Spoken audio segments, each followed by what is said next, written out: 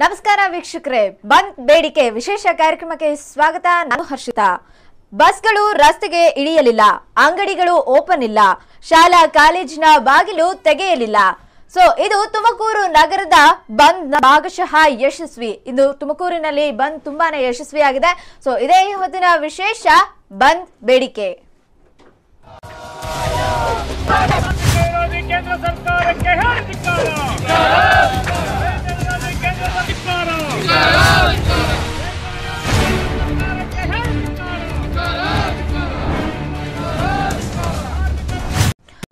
ವೀಕ್ಷಕರೇ, ಇವತ್ತಿನ ಬಂದ್ ಬೇಡಿಕೆ ಈ ಒಂದು ಸ್ಪೆಷಲ್ ಡಿಬೇಟ್ನಲ್ಲಿ ನಮ್ಮೊಂದಿಗೆ ಇಬ್ಬರು ಅತಿಥಿಗಳಿದ್ದಾರೆ. ಸೊ ನಾವು ಮೊದಲನೇದಾಗಿ ಕಾರ್ಯಕ್ರಮಕ್ಕೆ ವೆಲ್ಕಮ್ ಮಾಡೋಣ. ಸೊ ಮೊದಲನೇದಾಗಿ ಎ ಟಿ ಜಿಲ್ಲಾ ಪ್ರಧಾನ ಕಾರ್ಯದರ್ಶಿಯಾದಂತಹ ಗಿರೀಶ್ ಅವರು ನಮ್ಮ ಜೊತೆ ಇದ್ದಾರೆ. ಸರ್ ಕಾರ್ಯಕ್ರಮಕ್ಕೆ ಸ್ವಾಗತ.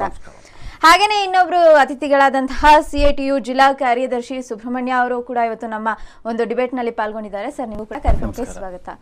ಸರ್ ಮೊದಲನೇದಾಗಿ ಇವತ್ತು ದೇಶಾದ್ಯಂತ ಭಾರತ್ ಬಂದನ್ನ ಆಚರಣೆ ಮಾಡಲಾಗ್ತಾ ಇದೆ. ಸೊ ಎಲ್ಲರಲ್ಲಿ ಇರೋವಂತಹ ಒಂದು ಗೊಂದಲ ಏನಪ್ಪಾ ಅಂತ ಹೇಳಿದ್ರೆ ಕೆಲವರಿಗೆ ಗೊತ್ತಿದೆ, ಬಂದು ಯಾವ ಕಾರಣಕ್ಕೆ ಮಾಡ್ತಾ ಇದ್ದಾರೆ ಅಂತ.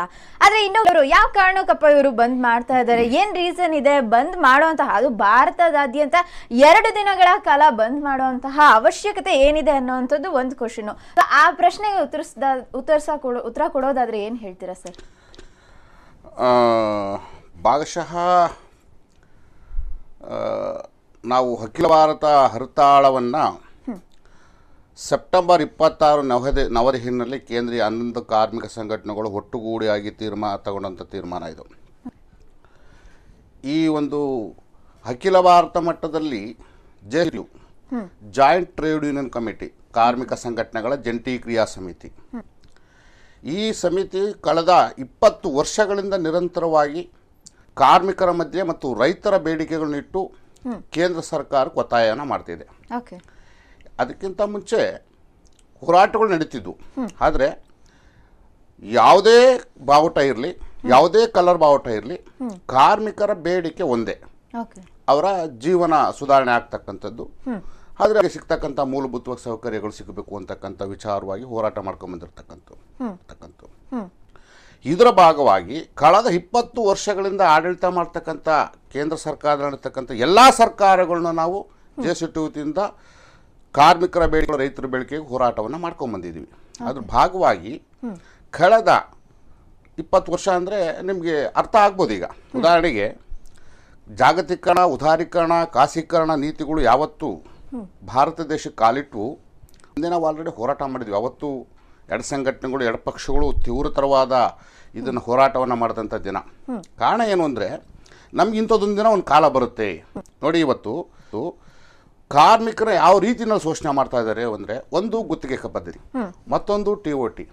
ಅದೇ ರೀತಿ ಅಪ್ರೆಂಟಿಸ್ ಈ ತರ ಕಾಯ್ದೆನಲ್ಲಿ ಕಾರ್ಮಿಕನ ಶೋಷಣೆಯನ್ನು ಮಾಡ್ಕೊಂಡು ಬರ್ತಾ ಇದ್ದಾರೆ ಕಾಯಂ ನೌಕರು ಇಲ್ಲದೆ ಇರತಕ್ಕಂಥ ಪರಿಸ್ಥಿತಿ ಆಗಿದೆ. ಇವತ್ತು ಕಾರ್ಮಿಕರ ಸಂಖ್ಯೆಯನ್ನು ಕ್ಷೀಣಿಸ್ತಗೊಳಿಸ್ತಕ್ಕಂಥ ಇದಾಗಿದೆ. ಮಾಲೀಕ ವರ್ಗ ಇವತ್ತು ಕೇವಲ ತನ್ನ ಲಾಭಕ್ಕಷ್ಟೇ ಇವತ್ತು ಕಾರ್ಮಿಕನ ದುಡಿಸ್ಕೊಳ್ತಕ್ಕಂಥ ಪರಿಸ್ಥಿತಿ ಬಂದ್ಬಿಟ್ಟಿದೆ. ಹೀಗಾಗಿ ಲಾಭವೇ ಮುಖ್ಯ ಆಗಿದೆ. ಇದು ಭಾಳ ಹಿಂದೆ ಕಾರ್ಲ್ ಮಾರ್ಕ್ಸ್ ಅವರು ಭಾಳ ಇನ್ನೂರು ವರ್ಷಗಳಿಂದ ಇದನ್ನು ಹೇಳಿದ್ದಾರೆ. ಕಾರ್ಮಿಕ ವರ್ಗವನ್ನು ಶೋಷಣೆ ಮಾಡಬೇಕಾದ್ರೆ ಬಂಡವಾಳಶಾಹಿ ವರ್ಗ ಲಾಭ ಬಿಟ್ಟರೆ ಅದಕ್ಕೆ ಮುಂದೇನು ಕಾಣೋದಿಲ್ಲ ಅಂತ. ಸೊ ಹಾಗಾಗಿ ಇವತ್ತಿನ ಒಂದು ಹೋರಾಟವನ್ನು ರೈತರು ಇವತ್ತು ಸಾವಿರಾರು ಜನ ರೈತರು ಆತ್ಮಹತ್ಯೆ ಮಾಡ್ಕೊಳ್ತಿದ್ದಾರೆ. ಈಗ ನೋಡ್ಬೋದು ಮೊನ್ನೆ ನಮ್ಮ ತಾಲೂಕಲ್ಲಿನಲ್ಲೇ ಶಿರಾದಲ್ಲಿ ಕಳೆದ ಎರಡು ತಿಂಗಳಿಂದ ನಾಲ್ಕು ಜನ ರೈತರು ಆತ್ಮಹತ್ಯೆ ಮಾಡ್ಕೊಂಡಿದ್ರು. ಯಾತಕ್ಕೋಸ್ಕರ ರೈತರು ಆತ್ಮಹತ್ಯೆ ಮಾಡ್ಕೊಳ್ತಾ ಇದ್ದಾರೆ?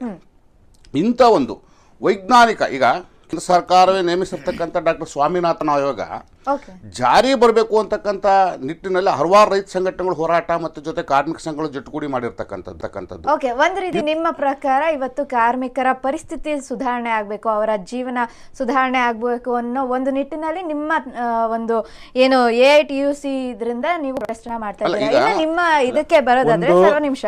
ಸಿ ಐ ಟಿ ಯು ಈಗ ಹದಿನೆಂಟು ಬೇಡಿಕೆಗಳು ಅಥವಾ ಹನ್ನೆರಡು ಬೇಡಿಕೆಗಳು ಅಂತ ಹೇಳಿ ಕೆಲವೊಂದರಲ್ಲಿ ಹನ್ನೆರಡು ಕೆಲವೊಂದರಲ್ಲಿ ಹದಿನಾಲ್ಕು ಬೇಡಿಕೆಗಳು.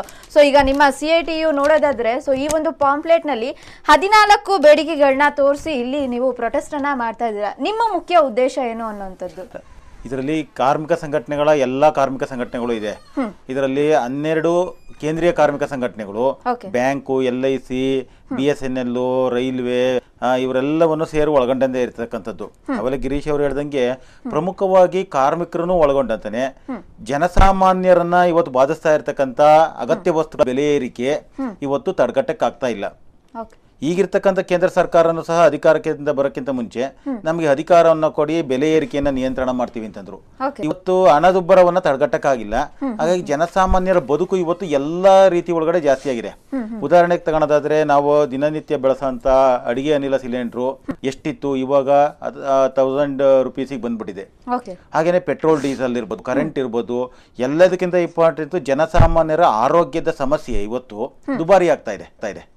ಆ ಹಿನ್ನೆಲೆ ಒಳಗಡೆ ಇವತ್ತು ಅಖಿಲ ಭಾರತ ಬಂದನ್ನಾಗಿ ಕಾರ್ಮಿಕ ಸಂಘಟನೆಗಳು ಆಯ್ತು. ನೀವು ನಿಮ್ಮ ಪ್ರಕಾರ ಹೇಳೋದಾದ್ರೆ ಈಗ ಪೆಟ್ರೋಲ್ ಡೀಸೆಲ್ ಬೆಲೆ. ಸೊ ರೀಸೆಂಟ್ ಆಗಿ ನಾವು ನೋಡಬಹುದು ಒಂದು ಎರಡು ಮೂರು ದಿನಗಳಿಂದ ಅಥವಾ ಒಂದ್ ನಾಲ್ಕೈದು ದಿನ ಆಗಿರ್ಬೋದು. ಪೆಟ್ರೋಲ್ ಡೀಸೆಲ್ ಬೆಲ್ ದರನ ಏರಿಕೆ ಮಾಡಿದ್ದು ಯಾವ ಸರ್ಕಾರ? ರಾಜ್ಯ ಸರ್ಕಾರನ ಕೇಂದ್ರ ಸರ್ಕಾರ. ಇವತ್ತು ಪ್ರೊಟೆಸ್ಟ್ ಏನಾಗ್ತಿದೆ ಅಂತ ಹೇಳಿದ್ರೆ ಕೇಂದ್ರ ಸರ್ಕಾರ ಕೇಂದ್ರ ಸರ್ಕಾರ. ಸೊ ಎಲ್ಲರಲ್ಲೂ ಒಂದು ಮಿಸ್ಕಮ್ಯುನಿಕೇಶನ್ ಕೂಡ ಆಗಿದೆ. ಸೊ ಪೆಟ್ರೋಲ್ ಡೀಸೆಲ್ ದರನ ಏರಿಕೆ ಮಾಡಿದ್ದು ಕೇಂದ್ರ ಸರ್ಕಾರ ಅಂತ ಹೇಳ್ತಿದ್ದಾರೆ. ಸೊ ಆದ್ರೆ ಆ ಏನು ದರ ಏರಿಕೆ ಆಗಿದೆ? ಕೇಂದ್ರ ಸರ್ಕಾರದಿಂದ ಆಗಿರುವಂತದ್ದಲ್ಲ. ರಾಜ್ಯ ಸರ್ಕಾರ ಅದನ್ನ ಹೆಚ್ಚಳ ಮಾಡಿದೆ ಕರೆಕ್ಟ್ ನೀವು ಹೇಳಿರೋ ಪಾಯಿಂಟ್ ಇದೆ ಇದರಲ್ಲಿ ರಾಜ್ಯ ಸರ್ಕಾರದ ಸೆಸ್ಸುನು ಸಹ ಒಳಗೊಂಡಂತಾನೆ.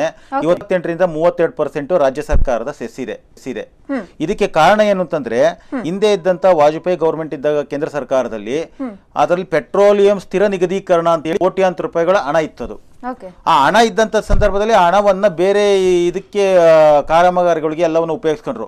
ಅದಾದ್ಮೇಲೆ ಏನ್ ಮಾಡ್ತಕ್ಕೆ ಬಂದಂತ ಎಲ್ಲಾ ಕೇಂದ್ರ ಸರ್ಕಾರ ಅದು ಕಾಂಗ್ರೆಸ್ ಇರ್ಲಿ ಬಿಜೆಪಿ ಇರ್ಲಿ ಮತ್ತೊಂದಿರ್ಲಿ ಎಲ್ಲವನ್ನು ಏನು ಮಾಡಿದೆ ಅಂತಂದ್ರೆ ಈ ಪೆಟ್ರೋಲಿಯಂ ಬೆಲೆ ಉತ್ಪನ್ನಗಳನ್ನ ನಿಗದಿ ಮಾಡೋಂಥದ್ನ ಸರ್ಕಾರದ ತನ್ನ ಕೈಯಿಂದ ಬಿಡಿಸ್ಕೊಂಡು ಖಾಸಗಿ ಕಂಪನಿಗಳ ಕೈಲೇ ಕೊಟ್ಬಿಟ್ಟಿದೆ. ಅದ್ರ ಜೊತೆಲಿ ಇವತ್ತು ಅಂತಾರಾಷ್ಟ್ರೀಯ ಮಾರ್ಕೆಟ್ ಒಳಗಡೆ ಇವತ್ತು ಡಾಲರ್ ಅಮೆರಿಕಾದ ಡಾಲರ್ ಹೆಚ್ಚಳ ಆದಂಗೆ ಪೆಟ್ರೋಲ್ ಡೀಸೆಲ್ ಬೆಲೆ ಹೆಚ್ಚಳ ಆಗುತ್ತೆ. ಯಾಕೆಂದ್ರೆ ನಾವು ಹೆಚ್ಚು ಆಮದು ಮಾಡ್ಕೊಂಡಿರ್ತಕ್ಕಂಥ ಹಿನ್ನೆಲೆ ಒಳಗಡೆ. ಈಗ ನಮ್ಮ ದೇಶದಲ್ಲೇ ಸಿಗ್ತಕ್ಕಂಥ ಗೋದಾವರಿ ಬೇಸನ್ನಲ್ಲಿ ಪೆಟ್ರೋಲ್ ಡೀಸೆಲ್ ಉತ್ಪನ್ನ ಸಿಗ್ತಾ ಇದೆ. ಅದನ್ನ ರಿಲಯನ್ಸ್ ಕಂಪ್ನಿ ಎಕ್ಸ್ಟ್ರಾಕ್ಟ್ ಮಾಡ್ತಾರೆ ಆದ್ರೆ ಅವರು ನಮ್ಮ ದೇಶದ ರೂಪಾಯಿ ಇದರಲ್ಲಿ ಮಾರಾಟ ಮಾಡ್ದಲ್ನೇ ಡಾಲರ್ ಲೆಕ್ಕದಲ್ಲಿ ಬೇ ಹೊರದೇಶಕ್ಕೆ ಮಾರಿ ನಮ್ಮ ದೇಶಕ್ಕೆ ಆಮದು ಮಾಡ್ಕೊಳ್ಳೋ ಪರಿಸ್ಥಿತಿಯನ್ನ ನಾವು ನೋಡ್ತಾ ಇದೀವಿ. ಇದು ಜನಸಾಮಾನ್ಯರ ಮೇಲೆ. ರಾಜ್ಯ ಸರ್ಕಾರನು ಸೆಸ್ ಕಡಿಮೆ ಮಾಡಬೇಕು. ಕೇಂದ್ರ ಸರ್ಕಾರನು ಇದರಲ್ಲಿ ಕಡಿಮೆ ಮಾಡಬೇಕು ಅನ್ನೋದು ನಮ್ದು ಮುಖ್ಯವಾಗಿರ್ತಕ್ಕಂಥ ಬೇಡಿಕೆ ಇದು. ಓಕೆ ಇನ್ನ ಕಾರ್ಮಿಕ ನೀತಿಯಲ್ಲಿ ಎಲ್ಲೋ ಇನ್ನೂ ತುಂಬಾನೇ ಆಕ್ಟ್ಗಳನ್ನ ಅಂದ್ರೆ ಕೆಲವೊಂದು ಇನ್ನೂ ಹಲವಾರು ವಿಷಯಕ್ಕೆ ಸಂಬಂಧಪಟ್ಟಂತೆ ಇವತ್ತು ಒಂದು ಏನು ಪ್ರೊಟೆಸ್ಟ್ ಅನ್ನ ನಡೆಸ್ತಾ ಇದ್ದೀರಾ? ಎಲ್ಲೋ ಒಂದ್ ಕಡೆ ಆ ಬಂದು ನಿಮ್ಮ ಕೂಗು ಏನಿರುತ್ತೆ ಅದು ಕೇಂದ್ರ ಸರ್ಕಾರಕ್ಕೆ ರೀಚ್ ಆಗ್ತಿದ್ಯಾ? ಈಗ ಕಳೆದ ಇಪ್ಪತ್ತು ವರ್ಷಗಳಿಂದಲೂ ಕೂಡ ಎಷ್ಟೋ ಸಂಘಟನೆಗಳು ಸೊ ಇವತ್ತು ಹೋರಾಟವನ್ನ ನಡ್ಸ್ಕೊಂಡು ಬರ್ತಾನೆ ಇದೆ. ಇದಕ್ಕೆಲ್ಲ ಕೇಂದ್ರ ಸರ್ಕಾರ ಸ್ಪಂದಿಸ್ತಿಲ್ಲ ಅನ್ನೋವಂಥದ್ದು ಅನ್ನೋವಂಥದ್ದು ಇಲ್ಲ ನೀವು ಮೊದಲೇ ನನಗೆ ಪ್ರಶ್ನೆ ಕೇಳಿದ್ರಿ. ಎಷ್ಟೋ ಜನಸಾಮಾನ್ಯರಿಗೆ ಇದು ಗೊತ್ತಿಲ್ಲ ಅಂತಕ್ಕಂಥದ್ದನ್ನ. ಕೇಂದ್ರ ಕಾರ್ಮಿಕ ಸಂಘಟನೆಗಳು ಅದನ್ನೇ ಹೇಳಕ್ಕೆ ಹೋಗ್ತಿದ್ದೆ. ನಾವು ದಿಢೀರ್ ನಾಳೆ ಅಂತ ಬಂದ್ ಮಾಡ್ತಾ ಇಲ್ಲ. ಅಲ್ಲ ಸ್ಟ್ರೈಕ್ ಕರೆ ಕೊಡ್ತಿಲ್ಲ. ಸೆಪ್ಟೆಂಬರ್ ಇಪ್ಪತ್ತರಿಂದ ಇಲ್ಲಿವರೆಗೂ ಎಲ್ಲ ರಂಗದಲ್ಲೂ ನಾವು ಅವೇರ್ನೆಸ್ ಮಾಡಿದ್ವಿ. ನೋಡಿ ಈಗ ನಮ್ಮ ಹೋರಾಟದಿಂದ ಏನು ಆಗಿಲ್ಲ ಸ್ಪಂದಿಸ್ತಿಲ್ಲ ಕೇಂದ್ರ ಸರ್ಕಾರಕ್ಕೆ ಮುಟ್ಟುತ್ತಾ ಅಂತಕ್ಕಂಥ ಪ್ರಶ್ನೆ ಇದೆಯಲ್ಲ ಅದು ಸುಳ್ಳು. ನಾವು ಪಡೆದಿರೋದೆಲ್ಲ ಹೋರಾಟದಿಂದಾನೆ. ಹಾಗೆ ಯಾವುದೂ ಬಂದಿಲ್ಲ. ಈಗ ನೋಡಿ ನಮಗೆ ಹಿಂದೆ ಕನಿಷ್ಠ ವೇತನ ಎಷ್ಟಿತ್ತು?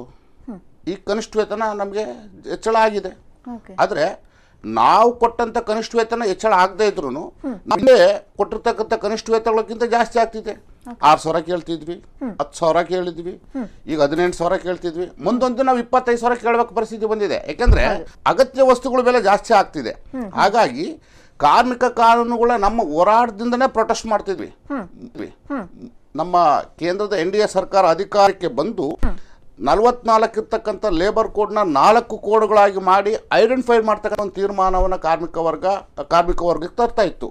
ಚೀಪ್ ಲೇಬರ್ ಆಗಿ ಸಪ್ಲೈ ಮಾಡಬೇಕು ಮಾಡ್ತೀವಿ ನಾವು ಅಂತಕ್ಕಂಥದ್ದು ಜಪಾನಲ್ಲಿ ಹೇಳಿ ಬಂದರು. ಅದೇ ರೀತಿ ಎರಡು ಸಾವಿರದ ಹದಿನೇಳರಲ್ಲೇ ಮೋಟಾರ್ ಕಾಯ್ದೆಯನ್ನು ತಂದು ಇಡೀ ನಮ್ಮ ಕಾರ್ಪೊ ಸರ್ಕಾರಿ ಕಂಪನಿಗಳನ್ನ ಖಾಸಗೀಕರಣ ಮಾಡಿ ಖಾಸಗಿಯರಿಗೆ ಗುತ್ತಿ ಕೊಡ್ತಕ್ಕಂಥ ತೀರ್ಮಾನವನ್ನು ಮಾಡಿದ್ರು. ಇದನ್ನೆಲ್ಲ ಪ್ರೊಟೆಸ್ಟ್ ಮಾಡಿದ್ದು ನಮ್ಮ ಹೋರಾಟದಿಂದನೇ. ಒಂದು ಮೋಟಾರ್ ವೆಹಿಕಲ್ ಆಕ್ಟ್ ಅಂತ ಹೇಳಿ. ಸೊ ಅದರಲ್ಲಿ ಏನೆಲ್ಲ ವಿಚಾರಗಳು ಇದೆ ಅನ್ನುವಂಥದ್ದು.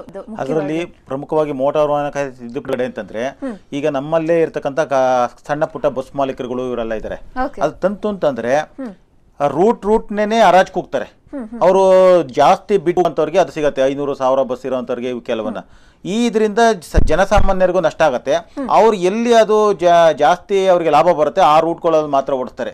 ಇರ್ತಕ್ಕಂಥ ಪರಿಸ್ಥಿತಿ ಒಳಗಡೆ ಕುಗ್ರಾಮಕ್ಕೂ ಅದು ಜನ ಹತ್ಲಿ ಬಿಡ್ಲಿ ಕುಗ್ರಾಮಕ್ಕೂ ಬಸ್ಗಳು ಓಡಾಡಬೇಕು ಅಂತ ಹೇಳಿ ನಾವು ಪರಿಸ್ಥಿತಿಯನ್ನು ಕೇಳ್ತಾ ಇದ್ದೀವಿ. ಇದು ಒಂದು. ಆಮೇಲೆ ಆ ಮೋಟಾರ್ ವಾಹನ ಖಾತೆ ತಿದ್ದುಪಡಿ ಯಾವ ವಾಹನವನ್ನ ಯಾರು ಉತ್ಪಾದನೆ ಮಾಡ್ತಾರೋ ಅದು ಎಲ್ಲವನ್ನ ಅದು ಗಾಡಿಯನ್ನ ಆರ್ ಸಿ ಮಾಡಿಸೋದಾಗಿರ್ಬೋದು ಅದಕ್ಕೆ ಬಿಡಿ ಭಾಗಗಳನ್ನ ರಿಪೇರಿ ಮಾಡೋಂಥದ್ದು ಎಲ್ಲವನ್ನೂ ಕೇಂದ್ರೀಕೃತವಾಗಿ ಒಂದೇ ಮಾಡುತ್ತೆ ಆರ್ ಟಿ ಒ ಕಂಪ್ನಿನೂ ಮುಚ್ಚಬೇಕಾಗುತ್ತೆ. ಹಾಗಾಗಿ ಈ ಜನಸಾಮಾನ್ಯರನ್ನು ಜನಸಾಮಾನ್ಯರು ನೆಚ್ಕೊಂಡಿರ್ತಕ್ಕಂಥ ಕಂಡಕ್ಟರ್ಗಳು ಡ್ರೈವರ್ಗಳು ಇವರೆಲ್ಲವನ್ನ ಕೋಟ್ಯಾಂತರ ಜನ ಉದ್ಯೋಗ ನಷ್ಟ ಆಗ್ತಾರೆ. ಮತ್ತು ಸಣ್ಣ ಸಣ್ಣ ಮಾತುಗಳು ಸಹ ಇದರಲ್ಲಿ ಮುಳುಗ್ತಾರೆ.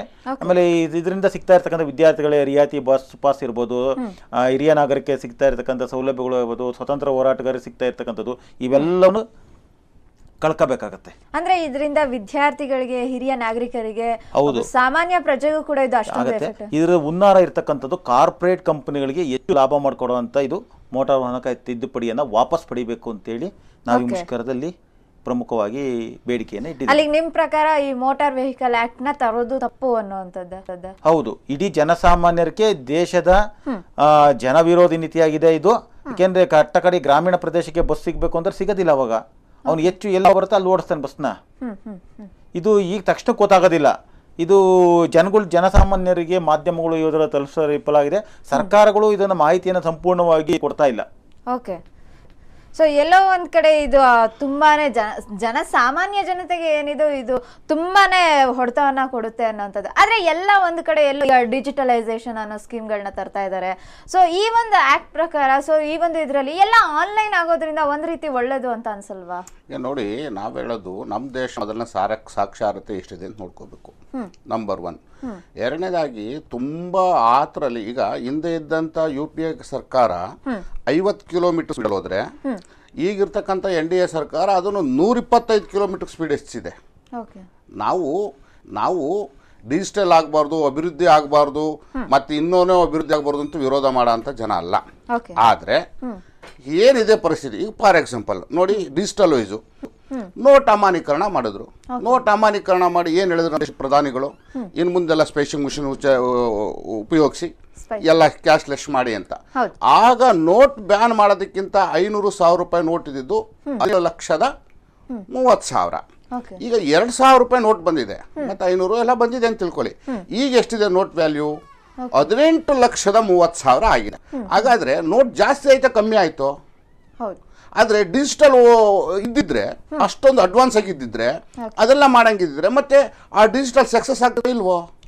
ಸೊ ಹಾಗಾಗಿ ನಾವು ಹೇಳೋದು ನಮ್ಮ ಇದಕ್ಕೆ ತಕ್ಕನಾಗೆ ನಮ್ಮ ಎಜುಕೇಟೆಡ್ ತಕ್ಕನಾಗೆ ನಮ್ಮ ಜನಗಳಿಗೆ ಅನುಕೂಲ ತಕ್ಕನವಾಗಿ ದೇಶವನ್ನ ಮುನ್ನಡೆಸ್ಕೊಂಡು ಹೋಗ್ಬೇಕು ಎಲ್ಲೋ ಕಡೆ ಹಾಗಾದ್ರೆ ನೀವು ಹೇಳೋ ಪ್ರಕಾರ ಸಾಕ್ಷರತೆ ಅನ್ನೋದು ಇಲ್ಲದೆ ಇರೋ ಒಂದ್ ರೀಸನ್ ಸಾಕ್ಷರತೆ ಇಲ್ಲ ಅನ್ನೋದ್ರ ಜೊತೆಗೆ ಆದ್ರೆ ಈಗ ನಮ್ಗೆ ಆ ಏನೇ ಬರೆಯಕ್ಕೆ ಬರಲ್ಲ. ನಾನು ಒಂದು ಎಕ್ಸಾಂಪಲ್ ಕೊಡ್ತಾ ಇದ್ದೀನಿ. ಅಂಥ ಟೈಮ್ನಲ್ಲಿ ನೀವು ಏನೋ ಆಕಾ ಅಂಗೈಲಿ ಆಕಾಶ ತೋರಿಸೋ ಅಂತಕ್ಕಂಥದ್ದನ್ನ ತೋರಿಸ್ಬಿಟ್ಟು ಚಂದಾಮಮ್ಮನ ಕತೆ ಹೋಗಿ ಗಿಳಿಕ್ ಪಾಠ ಹೇಳಿದ್ರೆ ಹೆಂಗೆ ಚೆನ್ನಾಗಿರುತ್ತಾ ಅಂತಕ್ಕಂಥದ್ದನ್ನು. ಇದು ಹಿಂಗೆ ಇಷ್ಟೇ ಚೆನ್ನಾಗಿರುತ್ತೆ ಹಿಂಗೆ ಮಾಡೋವಂಥದ್ದು ಹೇಳೋ ಅಂಥದ್ದು ಎಷ್ಟು ಚೆನ್ನಾಗಿರುತ್ತೆ ಅಂತಕ್ಕಂಥದ್ದು. ಹಾಗಾಗಿ ನಾವು ಹೇಳೋದು ಅದು ನಿಮ್ಮ ಪ್ರಕಾರ ಸಕ್ಸಸ್ ಆಗಿದ್ರೆ ಸಕ್ಸಸ್ ಆಗಿತ್ತು ಅದರಿಂದ ಏನೆಲ್ಲ ಆಯಿತು ಏನೆಲ್ಲ ಉತ್ತರ ಕೊಟ್ಟರು ಅನ್ನೋದನ್ನು ಏಕೆಂದರೆ ಈ ದೇಶದ ಜನದ ಮುಂದೆ ಪ್ರಶ್ನೆಗಳಿದೆ ಹಲವಾರು ಪ್ರಶ್ನೆಗಳಿದೆ ಅದಕ್ಕೆ ಉತ್ತರ ಕೊಡಬೇಕಾಗತ್ತೆ ನಮ್ಮ ದೇಶದ ಪ್ರಧಾನಿಗಳು. ಹಾಗಾಗಿ ಇವತ್ತು ನಾವು ಪ್ರಶ್ನೆಯನ್ನು ಕೇಳಿದ್ದೀವಿ ಅದ್ರ ಬಗ್ಗೆ. ಸೊ ಡಿಜಿಟಲ್ನ ಏನು ಹೇಳಿದ್ರು ಅನ್ನೋದು ಅದು ನಡೀತಾ ಇದೆ ಎಷ್ಟು ಜನಕ್ಕೆ ರೀಚ್ ಆಗ್ತಾ ಇದೆ ಅನ್ನೋದನ್ನು ನಾವು ನೋಡಬೇಕಾಗುತ್ತೆ. ಓಕೆ ಸರ್ ಇದ್ರ ಬಗ್ಗೆ ಮತ್ತಷ್ಟು ಮಾತಾಡೋಣ. ನೋಡಿದ್ರೆ ವೀಕ್ಷಕರೇ, ತುಂಬಾನೇ ಚರ್ಚೆ ನಡೀತಾ ಇದೆ. ಸೊ ಇನ್ನೂ ಒಂದಷ್ಟು ಪ್ರಶ್ನೆಗಳು ಉಳ್ಕೊಂಡಿದೆ. ಸೊ ಈ ಕಾರ್ಮಿಕರ ಇವತ್ತು ಯಾಕೆ ಒಂದು ಪ್ರೊಟೆಸ್ಟ್ ಅದು ಒಂದು ದಿನ ಅಲ್ಲ ಅಂತ ಹೇಳಿ ಎರಡು ದಿನಗಳ ಕಾಲ ಪ್ರೊಟೆಸ್ಟನ್ನ ನಡೆಸಲಾಗ್ತಾ ಇದೆ.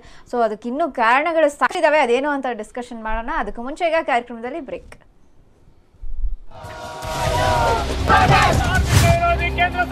ಕೇಂದ್ರ